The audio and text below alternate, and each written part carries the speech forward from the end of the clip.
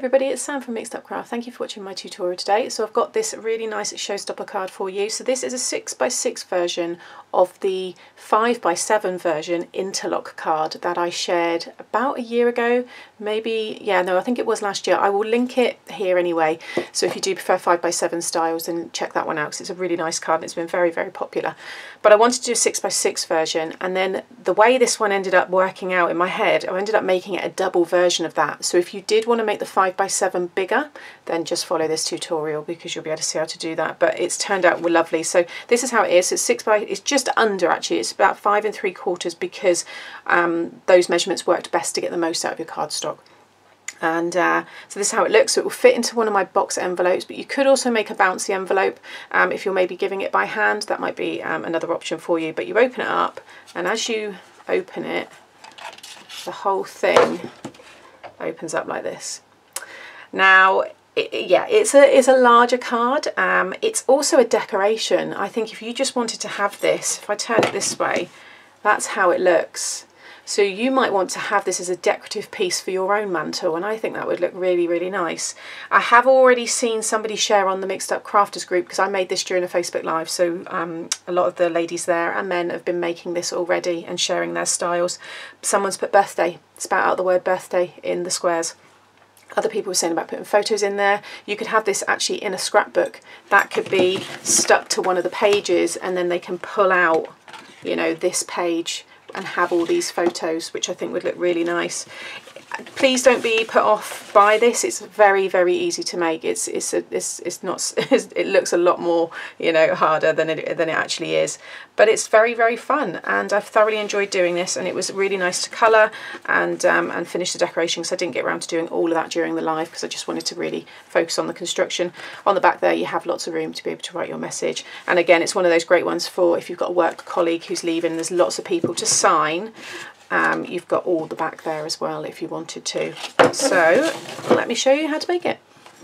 Okay, so for the stamping, I've used the stamp set that comes in the latest issue of Creative Stamping, and it's issue 88, and it's this one here. So it's the Floral Christmas. I have my own set. This is another set that came because I actually done some of the um, inspiration in the magazine. So you have this section here, which is your John Next Door stamps, and then all of this here is Floral Christmas. So I've really used a lot of these stamps. I've used the odd little flower but I've used the poinsettias there you can see and here um, to decorate the front. It's a really pretty set. Um, it's A4. It's always good value for money and you get a lovely magazine. And this one here was one of the cards that I'd done for the magazine which made it onto the front cover which I was super pleased about. But you can just see this, just an idea of, of some of the lovely cards you can create with that stamp set. But I'll link all of that below. For the main apertures, I'm using the Daisy May Distressed Squares. I don't believe these are available anymore. That's my stamps, so I just um, shrink mine down to fit into these little A5 pockets, and then they fit within my little tubs that I have all my stamps in. And for the embossing, I've used the X-Cut Tartan Knit. Again, if I can find it, I will link it. So I've done lots of bits and pieces. I've even stuck some of the mats and layers down just to speed up the video um, and just really show you how to construct it all. So for the main card, you're going to need two pieces that are 12 by 5 and 3 quarters. And you're going to score along the long side at 5 and 3 quarters and 11 and a half and you're going to do that on two pieces. Okay so there's my two there. Um, we'll fold and burnish in a minute so you know you're doing it in the right direction. Then you'll want one piece that is six and a quarter by five and three quarters because we need to put stick this all together. Um, and along that six and a quarter side you just want to score at five and three quarters. So you're just creating a half inch tab there. And then this piece here is just five and three quarters by five and three quarters. Okay so then for the mats and layers so to go inside, I've got these here and I'm doing silver instead of white this time, so I thought I'd try that. So these are five and a half for the silver by five and a half, and then five and a quarter by five and a quarter for the embossed. And you can see that tartan embossing folder looks really nice. Now I've got three because this one's going to go on the front, these two are going on the inside. And then for the back, I've just got the white one, which is where I'm going to stamp, and that one is, actually no, you want it to be that but yeah, do five and a half. You can have five and a quarter if you want, it's up to you. If you want to mat and layer it, but I'm going to do, um, I'll put another layer on that actually. But yeah, so you just want the same as those really, four of each if you're going to do the back with the mats and layers. And then for the actual concertina kind of um, interlock piece, you'll want two pieces that are three and a quarter by 10 and a quarter and you want to score along the long side at three and a quarter six and a half and nine and three quarters. So that's the two pieces there. And then you just want one piece that is again three and a quarter by six and a half. And you're going to score along the long side at three and a quarter okay.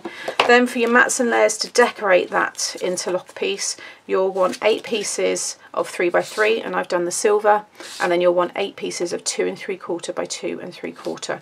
And then I've just fussy cut a few bits here which is what I'm using to decorate the front because I didn't want to go too mad with the front because you don't see it when it's open. Although saying that if someone maybe doesn't have a huge amount of room or once you start getting more cards through the Christmas period they can still just kind of display it like so. Um, so you do want there to still be some kind of nice feature on the front so I've kept it simple but still quite pretty um, and I've just prepared all of those ready. So let me show you how to now construct the card. Okay, so you want these two pieces here. So these are the largest pieces where you would have scored at five and three quarters and um, 11 and a half. These ones here, we want to cut the aperture out. Now I've used this one, let me remember which one it was, it was a smaller so you can have any aperture size that you want. Um, I've gone for three quarters of an inch squared with this one, so any of your nest dies really. You could do circular, um, you just need to make sure that the piece that interlocks through the apertures is going to be able to fit quite nicely and, and kind of comfortably sit there, but you could do rectangles. In the 5x7 version I do use rectangles because that size fits better, um, but for this one this is the size I've got. And then with the Daisy May ones you get the next size up is this distressed um, kind of wonky um, one, which is how I created the frame. So I need to cut my frame, so I'll show you that in a moment. So what I'm doing, because this is 216 GSM, this is the Tonic Studios cardstock, so I'm just going to fold and burnish that score line there. And that one just folds it in half and you'll have this half inch piece just over the top there.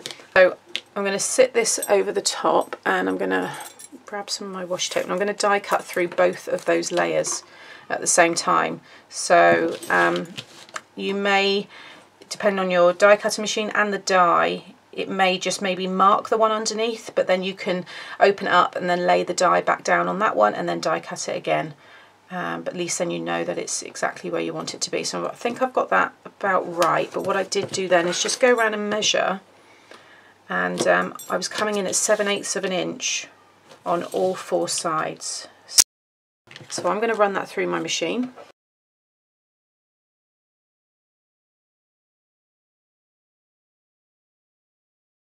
Okay, so I've got those two. So when you open this one up, it's going to attach to this hinge on this one here. So I'm just going to fold this one towards me. So that one will, will stick in like so. And then on this end one here, you're going to fold this one up.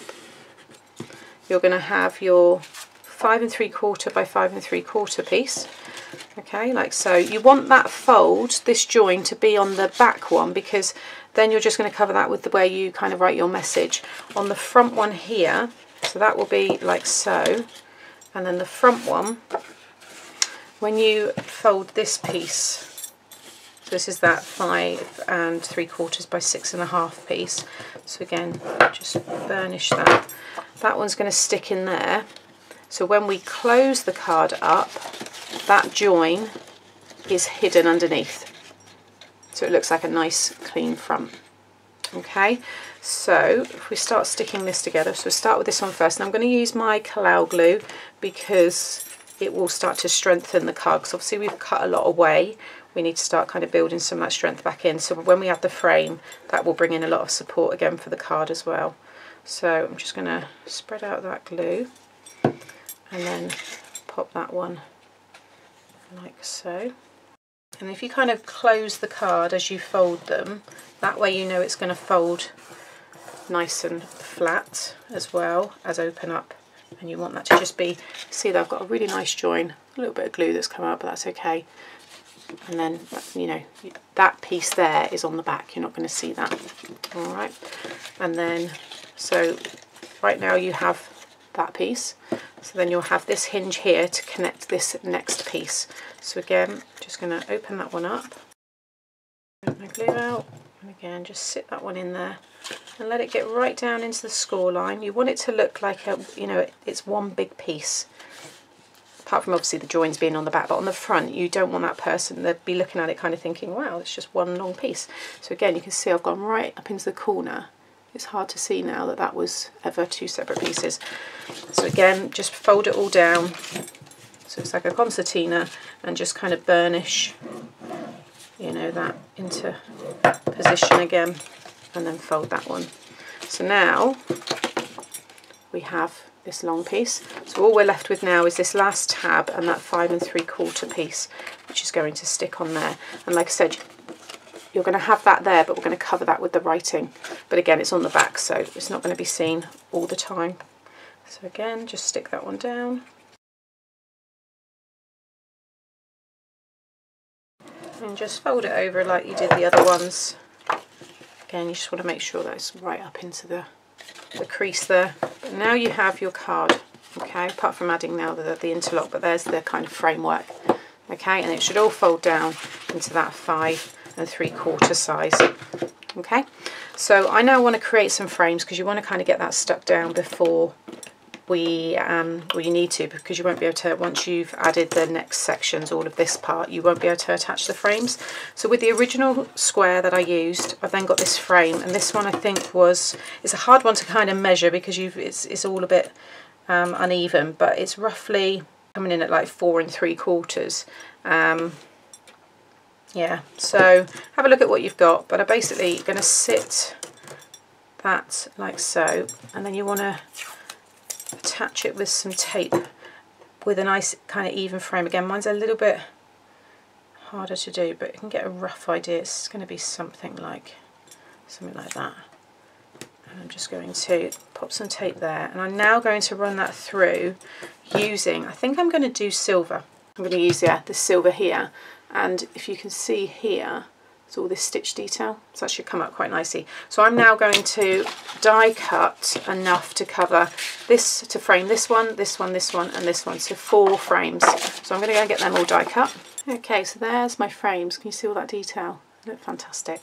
So next I'm going to now stick these on to the four apertures here. So I'm going to again use my Collall because this will start to strengthen it. So I'm just going to lay it flat for a minute and I'm going to now stick them all down so they frame those squares.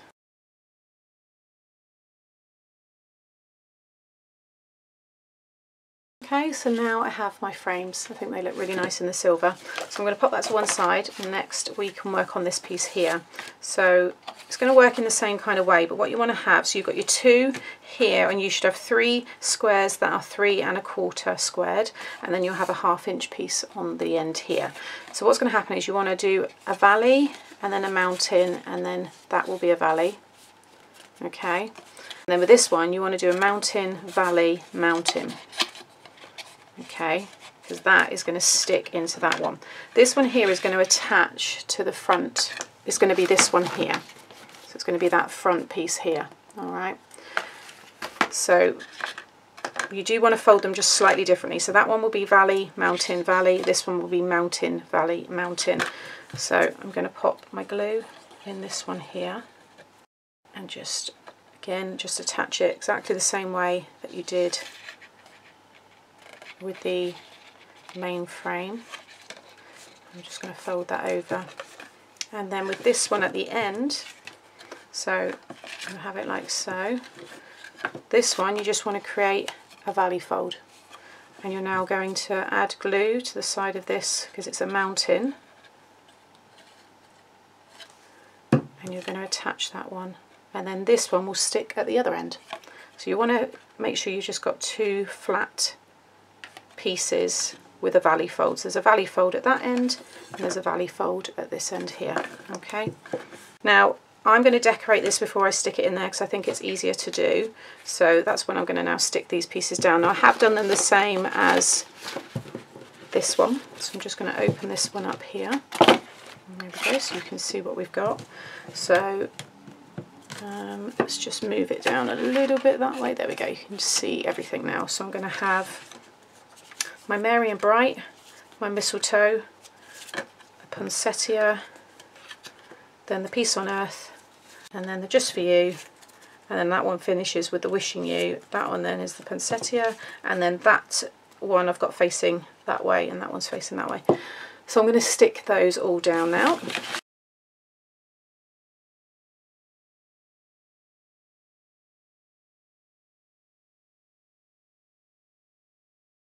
Okay, so that's that. Now I'm going to just concertina fold it all together so you've got like a little book.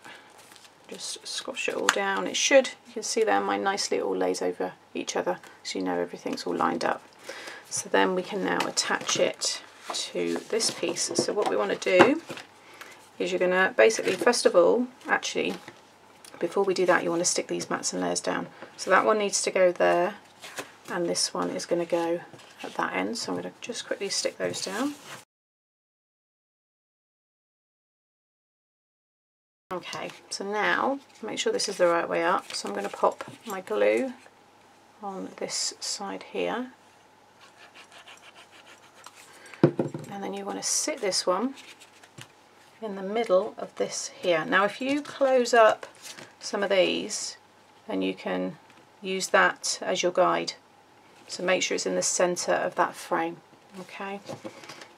And then that should also be the centre of there because of the way that you know you would have measured and lined it up. So I'm just going to make sure that's straight there. I'm happy with how that sits there. And then you want to add glue to this side. And then you're just going to close your card.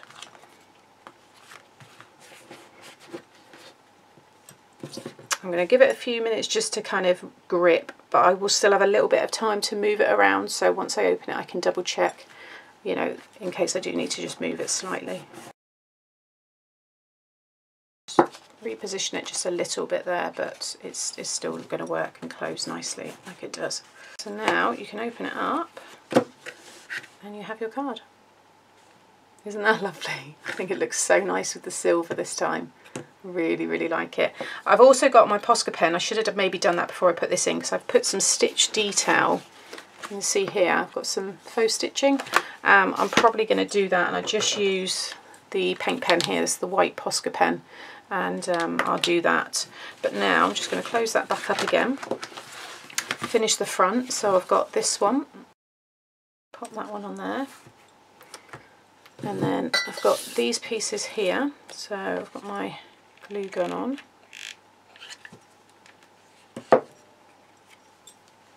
So let's pop that one about there.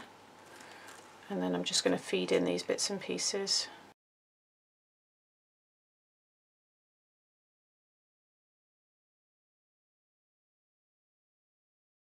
There we go, just a really simple design. I'm actually going to bring in some of my sparkle pen. I'm probably going to put some glitter on this actually and I'm going to use the Nuvo drops on the berries. So you'll see that in the photos because that will take a little bit longer to um, dry. But I think I'm going to put some glitter throughout the card actually. I think that'll look really nice. And then on the back I've just got this one here. So again, if you want to add mats and layers to it, you can. But um, there's so much going on on the card. I'm just going to keep this one like so and then I'll stamp my message later and that will just strengthen that card as well. Okay, so there is the finished card. So let me open up this one so you can see it with the, the green and the red. Just pop it there so you can see it. And then this one here, nice with that silver border.